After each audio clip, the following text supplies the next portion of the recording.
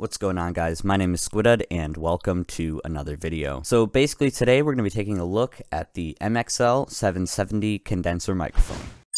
Alright, so as I was saying, the 770 is a condenser microphone that runs on XLR and requires a 48 volt phantom power supply, which if you don't know a lot about microphones and audio, that might not make a lot of sense.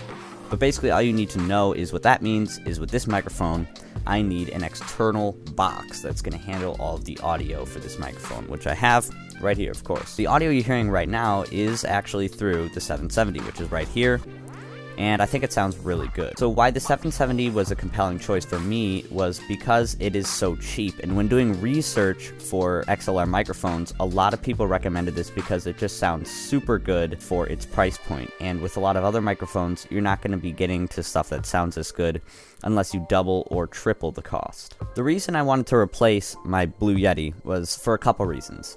Number one, despite it being an amazing microphone, I did want to get some more clarity in my voice in the high and low end specifically because I just really like the sound of that in voiceovers. Secondly, because as I progressed my audio setup, I wanted to eventually make the switch to XLR just because it's so much more modular and customizable, so you could really change everything to suit your specific needs. Not to say that USB microphones are bad though, because I can definitely see situations where that would be a lot better. For example, if you don't know a lot about audio and you don't really want to invest in an expensive setup, this is absolutely going to be a better option because you don't need any other hardware. This is it, just the microphone and your computer and you're good to go. Now you may be wondering how the 770 is supposed to be an upgrade, considering it's only $85 compared to the 120 of the Blue Yeti. Now to understand this, we need to talk about how microphones actually worked, and I went into this a little bit earlier.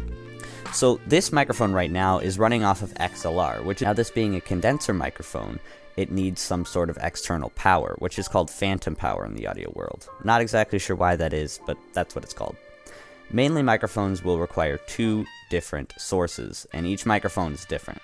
This microphone requires a 48 volt phantom power supply, which is what my interface has. But other microphones, like the old Neewer NW700 that I started this channel off with, require 12 volt phantom power, and it's important to note this when picking out a microphone to make sure it's compatible with your interface because if the voltage is too low, it might not work at all. And if the voltage is too high, it could damage your microphone or interface. So what does all that have to do with the Blue Yeti? Well, with the Blue Yeti, this is a USB condenser microphone, meaning all you need to do is just plug it straight into your computer with the USB port on the bottom. Now, because of this, all of the hardware needs to be included in the microphone you need the microphone hardware and the entire audio interface hardware all inside this one microphone, which is one of the reasons why it's so big. The Blue Yeti also has a headphone port on the bottom, so you need a headphone amplifier or DAC in there as well. Now, because this needs all that, they had to work with a fairly small budget to get all this stuff included and also make it a decent sounding microphone, which they did really well. But with XLR condenser microphones like the 770 here, they're able to make it sound better with a lower cost because they don't have to include all that hardware in it. So when you're using XLR microphones, it really is a lot more modular because if I wanted to upgrade my audio interface to something that had more ports or something that processed audio better, I could, and I don't have to replace my microphone. But that being said, if you don't know a lot about audio and you don't want to have to buy all this fancy gear, I wouldn't recommend using an XLR microphone since you're going to have to. And that's why things like the Blue Yeti exist, is to cater to folks that don't necessarily need to get into pro audio, but they just want to create content that has good sounding microphones. So before this, I recorded an unboxing segment so you can see the experience of opening up this microphone for the first time and of course, that segment wasn't recorded with the 770 itself, but it was recorded with a Blue Yeti, so the audio is going to sound a bit different. But here's the unboxing right now. Right, so here we are at my desk, and here is the MXL 770 uh, in its box. I haven't opened it up yet. And we can see this. And this is one of the cool things, uh, is that this microphone comes with a like really solid uh, plastic carrying case. Um, but otherwise in the box, we just have documentation, whatever. Here's the case and everything should be inside. It feels really good, especially for just being a bonus kind of thing thrown in the box, but let's open up the little locks there and uh, there we go. Really nice and padded, good foam on here. Um, but we got all the stuff, so obviously This here is the MXL 770 itself. Can sort of see the actual capsule in there, which is kind of cool. Um, and they have also included this shock mount with some extra elastics, so if they break or you lose them, you can put them on. And this really high quality adapter actually, um, if I get the one that I have, this is the adapter I have been using. Um, it's not very good and it always gets stuck in the microphone. But uh, this one uh, seems to be a lot higher quality, especially since you have this on the end, which you can actually unscrew, unlike this one, which just gets lost inside the microphone. so that's uh, it's a good thing to include. And uh, yep, that's all that comes in the box. So it's it's pretty big. Um, the last condenser mic like this that I had was my old uh, Neewer NW700, which was, I want to say, around the same like length, but it was around half the width. But yeah, you can see there's the capsule. It's a really nice capsule. And this is the one of the cool things about the microphone is there is uh, some switches on the back. So you can have uh, 0 dB or minus 10 dB if you're recording really loud things like drums. And then you have this roll off here, so just a flat EQ, or you can cut off the low end there. Depending on your applications, that could or could not be helpful. And of course, you see this is an XLR mic it'll focus. Yep, you can see it's an XLR mic. And this being a condenser mic, it will require 24 volt phantom power supply, which I have in my audio interface. So if you didn't know, if you don't know a lot about microphones and whatnot, this is basically a shock mount. And what this does is this little circle is what you'll slide the microphone through. And if I hold it like this, you can see I can sort of push it through. And that's because all these elastics are holding it in place. And basically what that does is if there's a lot of vibration or movement on the desk from me, like, you know, touching my hand on it or whatever, this will basically, it's like a, it's like a shock absorber, but for the microphone, so it won't pick up a lot of that vibration and stuff. So it's really cool. And if you have a microphone, I definitely recommend using one of those because they're pretty helpful. So currently the audio you're hearing is coming through the MXL 770, which is right there. And so I have it all hooked up with my audio interface right over there. Uh, it's not quite in shot, but it is there uh, through the XLR cable. So right here, I happen to have my Blue Yeti right here.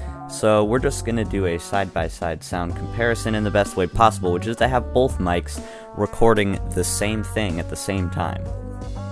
So I'll hold up my Yeti so we can hear it. And yeah, this is the test of both of the microphones at the same time. I'll be playing this test twice so that you can hear it through both microphones. This is the test of both of the microphones at the same time. I'll be playing this test twice so that you can hear it through both microphones. So when you go back and listen, they both do sound really good, except I feel like with the 770 here, it just has a lot more sparkle and a lot more definition in the low end. So they both have good clarity, but I feel like with the Yeti, you just get a lot of mids. Whereas with the 770 here, you can really hear a lot of the sparkles in my voice, uh, like a lot of the S and T sounds.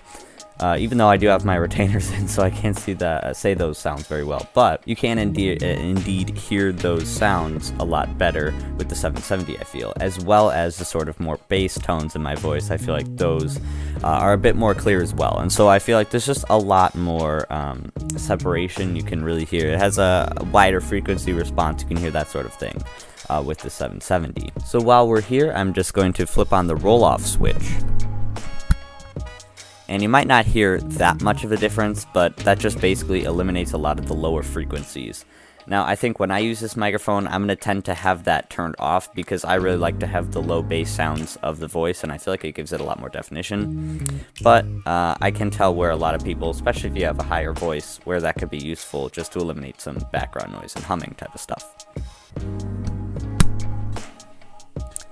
So now the EQ is back set to flat. Uh, I would demonstrate the dB switch, but you probably just wouldn't be able to hear me with it, or it'd be really quiet. It doesn't really change how the microphone sounds, just makes it a lot quieter so that it can take in a lot of louder sounds without peaking as easily. So that would be useful for if I wanted to record my drum set, uh, or just any other loud instrument or something like that. So from the testing I've done so far, the microphone sounds amazing and surpassed all of my expectations except in one field that I feel like the Yeti actually beats it is in terms of its internal pop filter. Now with the Blue Yeti, you can see that you can't really see the capsule. It's basically just this mesh, and you see that there's black foam on the inside, and that basically acts as an internal pop filter. Now if you don't know what a pop filter is, it basically um, eliminates high uh, sounds like P's. So for example, if I were to talk directly into the microphone and say a P sound really loudly, like this, the microphone gets really loud and it peaks out the audio and it doesn't necessarily sound very good. With the Yeti, the internal pop filter is really good, so it totally prevents this, but as we saw earlier with the 770 here, you can literally see straight through the microphone. Now this isn't necessarily a bad thing, since in a lot of situations this is just going to get you a lot more clarity, where the foam doesn't interfere with the frequency response of the microphone, so it really gives the user a lot more freedom. But for me, I can definitely see myself in the future getting a small pop filter uh, just to eliminate those annoying pop sounds. But of course, it's not necessary, and depending on what you're recording, you might not even need that at all. For example, if you're recording a guitar, you're probably not going to need a pop filter, because last time I checked, guitars don't say a P sound. So that's pretty much it for this review of the MXL 770.